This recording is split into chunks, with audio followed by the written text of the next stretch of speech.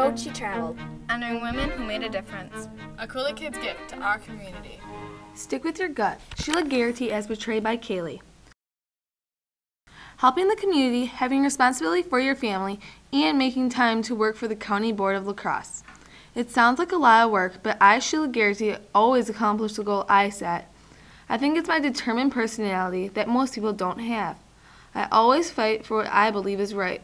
That is the reason I am running for county board as representative of the 9th district. I am pacing back and forth in my living room while I'm expecting a call to verify if I won or lost the race. Yes, the work paid off. Contributing those lengthy hours visiting the registered voters' homes has given me a seat on the La Crosse County Board.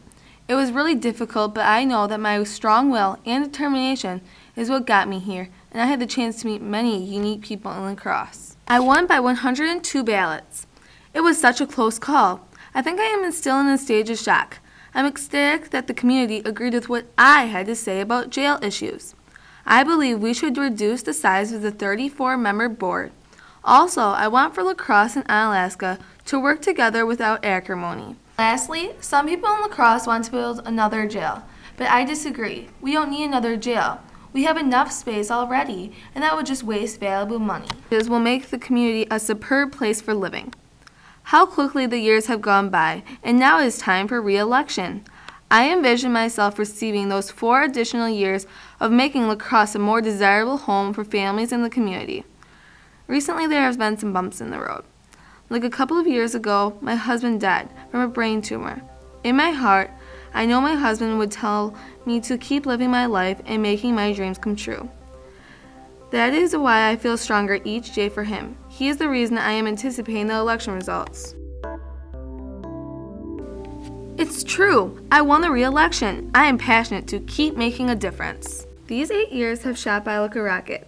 I have accomplished many worthy goals, and I am proud to have had the experience to be part of the county board. But it is time for me to retire from politics. I am delighted to start fresh, but sad to be leaving a rewarding career. Now I will slow down and just enjoy life's pleasures, and start setting new goals for myself. I'm ready to devote my time to volunteering for the La Crosse community. I am joining the La Crosse Community Foundation, Rotary of La Crosse, and other organizations. It's been an interesting journey, one I hope will send a message to teenagers that by stating your opinions and standing up for what you believe in, you will be able to make a positive difference in your community. Just stick with your gut.